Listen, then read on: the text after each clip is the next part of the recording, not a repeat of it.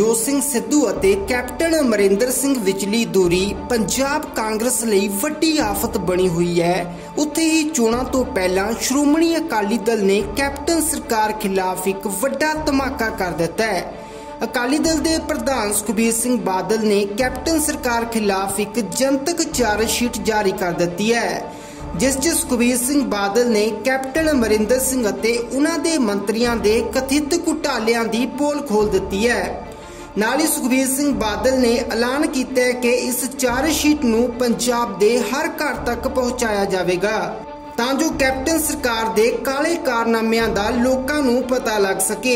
ਉੱਥੇ ਹੀ ਸੁਖਬੀਰ ਬਾਦਲ ਨੇ ਕੈਪਟਨ ਅਮਰਿੰਦਰ ਸਿੰਘ ਨੂੰ ਪੰਜਾਬ ਦਾ ਸਭ ਤੋਂ ਘਟੀਆ, ਨਲਾਇਕ ਅਤੇ ਨਖਿੱਧ ਮੁੱਖ ਮੰਤਰੀ ਆਖ ਦਿੱਤਾ ਹੈ। ਉਹ ਤੁਸੀਂ ਆਪ ਹੀ ਸੁਣ ਲਵੋ। ਇੱਕ ਡਿਟੇਲਡ ਚਾਰ ਸ਼ੀਟ ਇਹ ਸਰਕਾਰ ਨੇ ਦੋ ਜੋ ਕਰਤੂਤਾਂ ਇਹ ਸਰਕਾਰ ਦੀਆਂ। ਕਿਵੇਂ ਇਹ ਸਰਕਾਰ ਨੇ ਕੈਪਟਨ ਅਮਰਿੰਦਰ ਸਿੰਘ ਨੇ ਕਿਵੇਂ ਝੂਠ ਬੋਲ ਕੇ ਸਰਕਾਰ ਬਣਾਈ, ਕਿਵੇਂ ਧੋਖਾ ਦਿੱਤਾ ਪੰਜਾਬੀਆਂ ਨੂੰ, ਕਿਵੇਂ ਨੌਜਵਾਨਾਂ ਨੂੰ ਬਰਬਾਦ ਕੀਤਾ, ਕਿਵੇਂ ਪੰਜਾਬ ਵਿੱਚ ਡਰੱਗ ਮਾਫੀਆ ਪੈਦਾ ਹੋਇਆ, ਕਿਵੇਂ ਪੰਜਾਬ ਵਿੱਚ ਰੇਤ ਮਾਫੀਆ ਪੈਦਾ ਹੋਇਆ, ਕਿਵੇਂ ਕੈਪਟਨ ਅਮਰਿੰਦਰ ਸਿੰਘ ਦੀ ਪੇਟਨੇ ਥੱਲੇ, ਅੱਖਾਂ ਥੱਲੇ। ਕਿਵੇਂ ਇਹਨਾਂ ਦੇ ਮੰਤਰੀਆਂ ਨੇ ਲਿਕਰ ਸਕੈਮ ਕੀਤੇ? ਕਿਵੇਂ ਇਹਨਾਂ ਦੇ ਮੰਤਰੀ ਬਲਬੀਰ ਸਿੱਧੂ ਨੇ ਆਪਣੇ ਜ਼ਮੀਨਾਂ ਦੇ ਘਪਲੇ ਕੀਤੇ? ਡਰੱਗਸ ਦੀਆਂ ਜਿਹੜੀਆਂ ਦਵਾਈਆਂ ਸੀ, ਉਹਦੇ ਵੱਡਾ ਸਕੈਮ ਕੀਤਾ।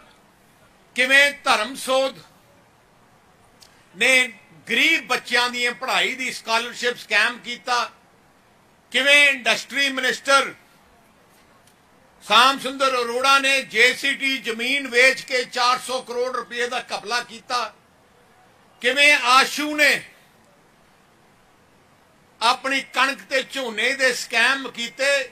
ਇੱਕ ਬਹੁਤ ਵੱਡੀ ਚਾਰ ਸ਼ੀਟ ਅਸੀਂ ਸ਼੍ਰੋਮਣੀ ਅਕਾਲੀ ਦਲ ਨੇ ਬਣਾਈ ਹੈ। ਇਸ ਚਾਰ ਸ਼ੀਟ ਨੂੰ ਪੰਜਾਬ ਦੇ ਹਰ ਘਰ ਵਿੱਚ ਪਹੁੰਚਾਇਆ ਜਾਊਗਾ, ਹਰ ਸ਼ਹਿਰ ਵਿੱਚ ਪਹੁੰਚਾਇਆ ਜਾਊਗਾ, ਵਾਰਡ ਪਿੰਡਾਂ ਵਿੱਚ ਇਸ ਚਾਰ ਸ਼ੀਟ ਨੂੰ ਪਹੁੰਚਾਇਆ ਜਾਊਗਾ। ਕੈਪਟਨ ਅਮਰਿੰਦਰ ਸਿੰਘ ਨੇ ਸਾਢੇ 4 ਸਾਲ ਚ ਪੰਜਾਬ ਨੂੰ ਬਰਬਾਦ ਕਰ ਦਿੱਤਾ। ਇੱਕੋ ਇੱਕ ਮੁੱਖ ਮੰਤਰੀ ਹੈ।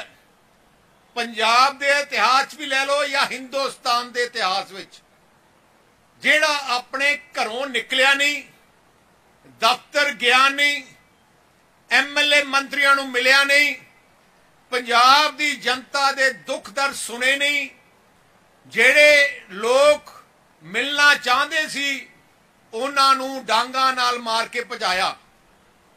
ਇਹ ਤੋਂ ਮਾੜਾ ਮੁੱਖ ਮੰਤਰੀ ਨਲੈਕ ਮੁੱਖ ਮੰਤਰੀ, ਨਖਿੱਧ ਮੁੱਖ ਮੰਤਰੀ ਅੱਜ ਤੱਕ ਪੰਜਾਬ 'ਚ ਨਹੀਂ ਹੋਇਆ। ਐਸ ਮੁੱਖ ਮੰਤਰੀ ਦੀ ਇਹ ਸਰਕਾਰ ਦਾ ਇੱਕੋ ਇੱਕ ਕੰਮ ਰਿਹਾ ਲੁੱਟਣਾ, ਪੈਸਾ ਇਕੱਠਾ ਕਰਨਾ। ਜਿਸ ਤਰੀਕੇ ਨਾਲ ਕੈਪਟਨ ਅਮਰਿੰਦਰ ਸਿੰਘ ਨੇ ਤੇ ਉਹਦੇ ਸਾਥੀਆਂ ਨੇ ਪੰਜਾਬ ਨੂੰ ਲੁੱਟਿਆ ਪੰਜਾਬ ਦੇ ਖਜ਼ਾਨੇ ਨੂੰ ਲੁੱਟਿਆ ਖਜ਼ਾਨਾ ਖਾਲੀ ਨਹੀਂ ਹੁੰਦਾ।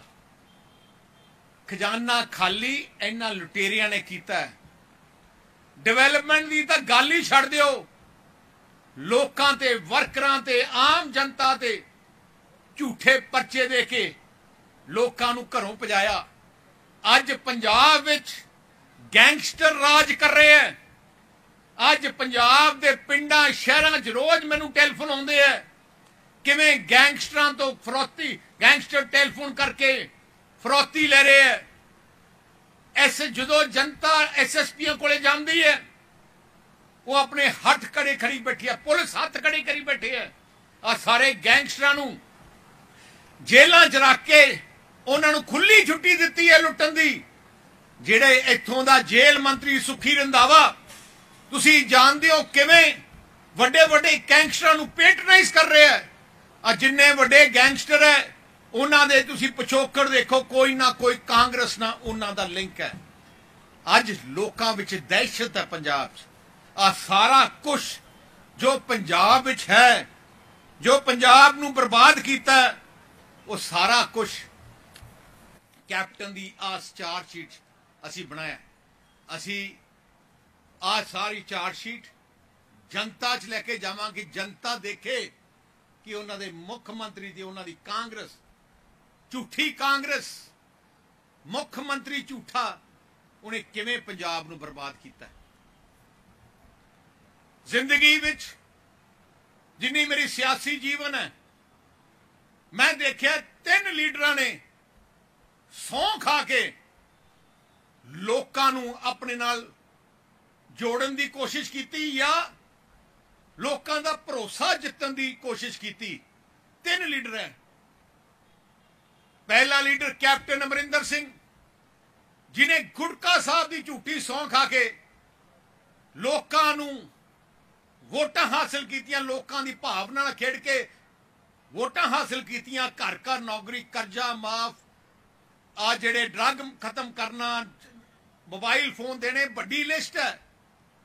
ਦੂਜਾ ਇਨਸਾਨ ਜਿਹਨੇ ਝੂਠੀ ਸੌਂ ਖਾ ਕੇ ਲੋਕਾਂ ਨੂੰ ਗੁੰਮਰਾਹ ਕੀਤਾ ਹੈ, ਭਗਵੰਤ ਮਾਨ।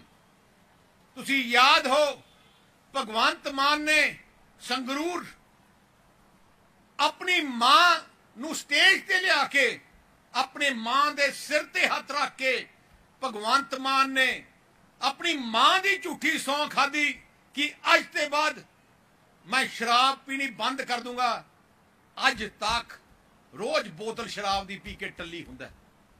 ਜਿਹੜਾ ਇਨਸਾਨ ਆਪਣੀ ਮਾਂ ਨੂੰ ਨਹੀਂ ਬਖਸ਼ ਸਕਦਾ, ਕੀ ਉਹ ਪੰਜਾਬ ਦੀ ਅਗਵਾਈ ਕਰ ਸਕਦਾ ਇੱਕ ਪਾਰਟੀ, ਆਮ ਆਦਮੀ ਪਾਰਟੀ ਦੀ ਅਗਵਾਈ ਕਰ ਰਿਹਾ ਤੀਜਾ ਇਨਸਾਨ ਜਿਨੇ ਝੂਠੀ ਸੌਂ ਖਾ ਕੇ ਲੋਕਾਂ ਨੂੰ ਗੁੰਮਰਾਹ ਕੀਤਾ ਕਿ ਅਰਵਿੰਦ ਕੇਜਰੀਵਾਲ, ਦਿੱਲੀ ਦਾ ਮੁੱਖ ਮੰਤਰੀ। ਅਰਵਿੰਦ ਕੇਜਰੀਵਾਲ ਨੂੰ ਜਦੋਂ ਦਿੱਲੀ ਪਹਿਲੀ ਵਾਰ ਉਹਨੇ ਪਾਰਟੀ ਬਣਾਈ, ਇਲੈਕਸ਼ਨ ਚ ਆਇਆ, ਲੋਕਾਂ ਨੇ ਪੁੱਛਿਆ, ਮੀਡੀਆ ਨੇ ਪੁੱਛਿਆ ਕਿ ਜੇ ਤੁਹਾਡੇ ਕੋਲੇ ਐਮਐਲਏ ਪੂਰੇ ਨਹੀਂ ਹੁੰਦੇ, ਕੀ ਤੁਸੀਂ ਕਾਂਗਰਸ ਨਾਲ ਮਿਲ ਕੇ ਸਰਕਾਰ ਕਰੋਗੇ, ਬਣਾਓਗੇ? ਆਪਣਾ ਬੇਟਾ ਨਾਲ ਖੜਾ ਸੀ। ਉਹਨੇ ਵੀ ਆਪਣੇ ਬੇਟੇ ਦੇ ਸਿਰ ਤੇ ਹੱਥ ਰੱਖਿਆ ਤੇ ਸੌਂ ਖਾਦੀ ਪੂਰੇ ਦੇਸ਼ ਵਾਸੀਆਂ ਦੇ ਸਾਹਮਣੇ ਕਿ ਮੈਂ, ਮੈਨੂੰ ਭਾਵੇਂ ਐਮਐਲਏ ਜਿੱਤਨ ਹਾਰ ਮੈਂ ਕਾਂਗਰਸ ਨਾਲ ਮਿਲ ਕੇ ਸਰਕਾਰ ਨਹੀਂ ਬਣਾਉਣਾ ਤੇ ਜਦੋਂ ਇਲੈਕਸ਼ਨ ਆਇਆ, ਉਹਨੇ ਆਪਣੇ ਸੌਂ ਤੋੜ ਕੇ ਆਪਣੇ ਬੇਟੇ ਦੇ ਸਿਰ ਤੇ ਉੱਤੇ ਝੂਠੀ ਸੌਂ ਖਾ ਖਾਤੀ ਸੀ ਜਿਹੜੀ ਨਾਲ ਨਾਲ ਕਾਂਗਰਸ ਨਾਲ ਮਿਲ ਕੇ ਸਰਕਾਰ ਬਣਾਈ। ਜਿਹੜੇ ਲੀਡਰ ਗੁਰੂ ਦੀ, ਆਪਣੇ ਗੁਰੂ ਦੀ ਝੂਠੀ ਸੌਂ ਖਾ ਸਕਦੇ ਆ ਆਪਣੀ ਮਾਂ ਦੀ ਝੂਠੀ ਸੌਂ ਖਾ ਸਕਦੇ ਆ ਆਪਣੇ ਬੇਟੇ ਦੀ ਸੌਂ ਖਾ ਸਕਦੇ ਆ ਉਹ ਕਹਿ ਜੇ ਇਨਸਾਨ ਹੋਣ? ਕਾਂਗਰਸ ਪਾਰਟੀ ਦਾ ਪਿਛੋਕੜ ਤੁਹਾਨੂੰ ਪਤਾ ਹੀ ਹੈ ਕਾਂਗਰਸ ਪਾਰਟੀ ਨੂੰ ਹੁਕਮ ਗਾਂਧੀ ਪਰਿਵਾਰ ਦਿੰਦਾ ਗਾਂਧੀ ਪਰਿਵਾਰ ਕੌਮ ਦਾ, ਪੰਜਾਬ ਦਾ ਜੋ ਉਹਨੇ ਨੁਕਸਾਨ ਕੀਤਾ ਹੈ ਜੋ ਆਪਣੇ ਪੰਜਾਬੀਆਂ ਦੇ ਉੱਤੇ ਹਮਲੇ ਕੀਤੇ ਹੈ ਜੋ ਵਿਤਕਰਾ ਕੀਤਾ ਪੰਜਾਬ ਨਾਲ, ਗਾਂਧੀ ਪਰਿਵਾਰ ਤੇ ਕਾਂਗਰਸ ਨਾਲ ਕੀਤਾ ਹੁਣ ਦੂਜੀ ਗੱਲ ਆ ਜੋ ਆਮ ਆਦਮੀ ਪਾਰਟੀ ਦੀ। ਆਮ ਆਦਮੀ ਪਾਰਟੀ ਦੀ ਅਗਵਾਈ ਕੇਜਰੀਵਾਲ ਕਰ ਲਿਆ। ਕੇਜਰੀਵਾਲ ਵੀ ਕੈਪਟਨ ਅਮਰਿੰਦਰ ਸਿੰਘ ਦੇ ਲਈ ਹੀ ਤੇ ਚੱਲਣ ਵਾਲਾ ਮੁੱਖ ਮੰਤਰੀ ਹੈ। ਇੱਥੇ ਆਉਂਦਾ ਕਹਿੰਦਾ ਮੈਂ ਪੰਜਾਬ ਵਾਸਤੇ ਗੱਲ ਕਰਨੀ ਹੈ, ਜਦੋਂ ਪੰਜਾਬ ਦਾ ਬਾਰਡਰ ਟੱਪਦਾ ਹੈ, ਤੇ ਉਹੀ ਕੇਜਰੀਵਾਲ ਆਪਣੀ ਦਿੱਲੀ ਦੀ ਗੱਲ ਕਰਨ ਲੱਗ ਜਾਂਦਾ ਹੈ। ਮੈਂ ਪੰਜਾਬੀਆਂ ਨੂੰ ਪੁੱਛਣਾ ਚਾਹਣਾ ਕੇਜਰੀਵਾਲ ਨੇ ਦਿੱਲੀ 'ਚ ਬਿਆਨ ਦਿੱਤਾ ਹੈ।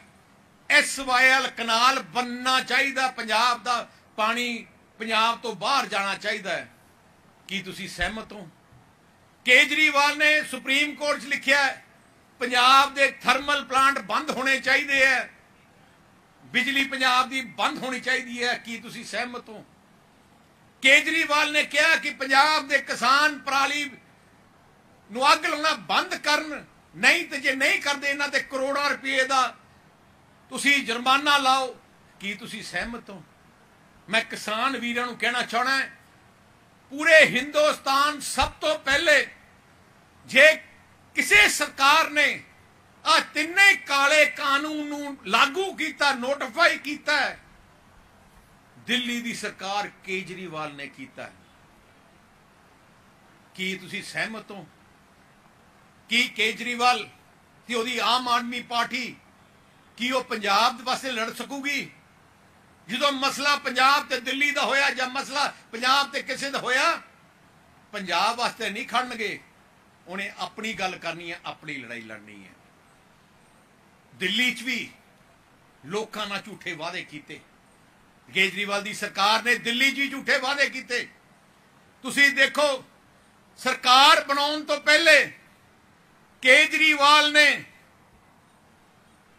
ਸਾਰੇ ਪੰਜ- ਆਪਣੇ ਦਿੱਲੀ ਵਾਸੀ ਨੂੰ ਕਿਹਾ ਸੀ, ਤੁਹਾਨੂੰ ਬਿਜਲੀ ਮੁਫਤ ਕਰੂੰਗਾ। ਸਰਕਾਰ ਬਣਾ ਲਈ। ਕਹਿੰਦਾ 200 ਯੂਨਿਟ ਮੁਫਤ ਕਰੂੰਗਾ। ਅੱਜ ਦਿੱਲੀ ਵਿੱਚ 200 ਯੂਨਿਟ ਮੁਫਤ ਨਹੀਂ ਹੈ। ਥੱਲੇ ਇੱਕ ਲਾਈਨ ਲਿਖੀ ਹੈ 200 ਯੂਨਿਟ ਤੋਂ ਇੱਕ ਵੀ ਯੂਨਿਟ ਵੱਧ ਜੇ ਤੁਹਾਨੂੰ ਸਾਰੇ 200 ਦੇ ਪੈਸੇ ਦੇਣੇ ਪੈਂਦੇ ਐ। ਅੱਜ 90% ਦਿੱਲੀ ਦੇ ਲੋਕਾਂ ਨੂੰ ਬਿਜਲੀ ਦੇ ਬਿੱਲ ਆਉਂਦੇ ਆ ਭਾਵੇਂ ਕਿਸੇ ਕੋਨੇ ਜਾ ਕੇ ਪੁੱਛ ਲਓ। ਮੈਂ ਦਿੱਲੀ ਦੀ ਗਲੀਆਂ 'ਚ ਮੁਹੱਲਿਆਂ ਸਾਡੇ ਪਾਰਟੀ ਯੂਨਿਟ ਨੂੰ ਪੁੱਛਿਆ ਉਹਨਾਂ ਨੇ ਕਿਹਾ ਕਿ 200 ਯੂਨਿਟ ਤਾਂ ਕੁਝ ਵੀ ਨਹੀਂ। ਤੇ ਨਾਲ ਦੇ ਨਾਲ 200 ਤੋਂ 1 ਯੂਨਿਟ 200 ਤੋਂ 10 ਯੂਨਿਟ ਤੋਂ 300 ਯੂਨਿਟ 400 ਯੂਨਿਟ ਜੇ ਕਿਸੇ ਦਾ ਬਿੱਲ ਆਉਂਦਾ ਹੈ, ਤੇ ਪੂਰਾ ਭਰਨਾ ਪੈਂਦਾ ਹੈ। ਆ ਦੇਖੋ ਕਿੱਡਾ ਵੱਡਾ ਧੋਖਾ। ਕੇਜਰੀਵਾਲ ਨੇ, ਮੈਂ ਦੋ ਚਾਰ ਹੀ ਗੱਲ ਕਰੂੰਗਾ ਕਿਵੇਂ ਝੂਠ ਬੋਲਿਆ ਦਿੱਲੀ ਦੇ ਲੋਕਾਂ ਨੂੰ। ਕੇਜਰੀਵਾਲ ਨੇ ਕਿਹਾ, ਮੈਂ ਘਰ ਘਰ, ਇੱਕ ਸਾਲ ਦੇ ਅੰਦਰ ਮੈਂ ਘਰ ਘਰ ਪੀਣ ਵਾਲਾ ਪਾਣੀ ਦਿੱਲੀ ਦੇ ਕੋਨੇ-ਕੋਨੇ ਪਹੁੰਚਾਉਂਗਾ ਅੱਜ 9 ਸਾਲ ਹੋ ਗਏ 650 ਕਲੋਨੀਆਂ ਜਿੱਥੇ ਅੱਜ ਤੱਕ ਪਾਣੀ ਨਹੀਂ ਪਹੁੰਚਿਆ ਟੈਂਕਰਾਂ ਨਾਲ। ਉੱਥੇ ਅੱਜ ਵੀ ਪਾਣੀ ਪਜਾਇਆ ਜਾਂਦਾ, ਕਿੱਡਾ ਵੱਡਾ ਝੂਠੀ ਹੈ। ਕੇਜਰੀਵਾਲ ਨੇ ਸਭ ਤੋਂ ਪਹਿਲੇ ਜੋ ਲੜਾਈ ਸ਼ੁਰੂ ਹੋਈ, ਜਦੋਂ ਅੰਨਾ ਹਜ਼ਾਰੇ ਜੀ ਨੇ ਸੰਘਰਸ਼ ਸ਼ੁਰੂ ਕੀਤਾ, ਕਿਸ ਵਾਸਤੇ ਸੰਘਰਸ਼ ਸ਼ੁਰੂ ਕੀਤਾ? ਕਿ ਲੋਕਪਾਲ, ਇੱਕ ਆਜ਼ਾਦ ਲੋਕਪਾਲ ਬਣਨਾ ਚਾਹੀਦਾ ਕਰਪਸ਼ਨ ਦੂਰ ਕਰਨ ਨੂੰ। ਕੇਜਰੀਵਾਲ ਨੇ ਉੱਥੇ ਮੁਹਿੰਮ ਹੀ ਸ਼ੁਰੂ ਕੀਤੀ, ਲੋਕਪਾਲ ਬਣਨਾ ਚਾਹੀਦਾ ਹੈ। ਮੈਂ ਪੰਜਾਬੀਆਂ ਨੂੰ ਦੱਸਣਾ ਚਾਹਣਾ ਅੱਜ ਤੱਕ 10 ਸਾਲ ਹੋ ਗਏ, ਪੰਜ- ਦਿੱਲੀ ਵਿੱਚ ਲੋਕ ਲੋਕਪਾਲ ਨਹੀਂ ਬਣਾਇਆ, ਹਲੇ ਤੱਕ ਨਹੀਂ ਬਣਾਇਆ। ਇਹ ਜਿਹਾ ਇਨਸਾਨ ਹੈ ਜਿਹੜਾ ਕਹਿੰਦਾ ਕੁਛ ਹੈ, ਕਰਦਾ ਕੁਛ ਹੈ।